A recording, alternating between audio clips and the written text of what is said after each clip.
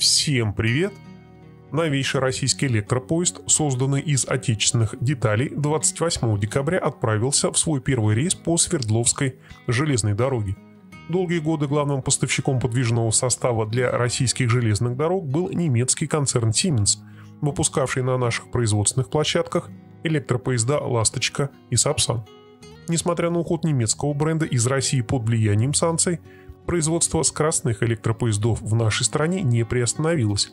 Напротив, можно с уверенностью сказать, что уход Siemens оказал благоприятное влияние на экономическое состояние многих российских предприятий.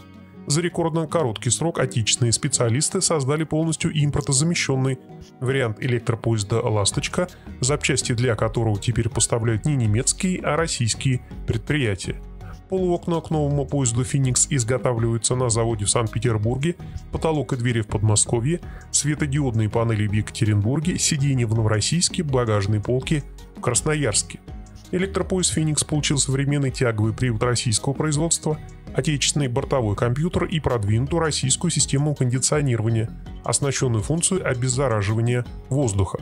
Новая модель станет базовой для целой линейки скоростных электропоездов – с точки зрения технических характеристик и разгонной динамики, российский электропоезд не будет отличаться от немецкой «Ласточки», однако он станет лучше с точки зрения комфорта за счет использования более удобных кресел, наличия пневмоподвески, выдвижных ступеней при заходе в вагон электропоезда, выдвижных дверей при проходе между вагонами, благодаря большему количеству USB разъемов для подзарядки мобильных устройств, а также наличию в каждом вагоне трех санузлов.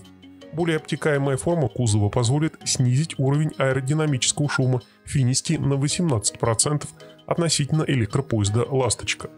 По словам начальника Свердловской железной дороги Павла Бурцева, Финист можно назвать электропоездом с улучшенными характеристиками, который позволит повысить качество обслуживания пассажиров.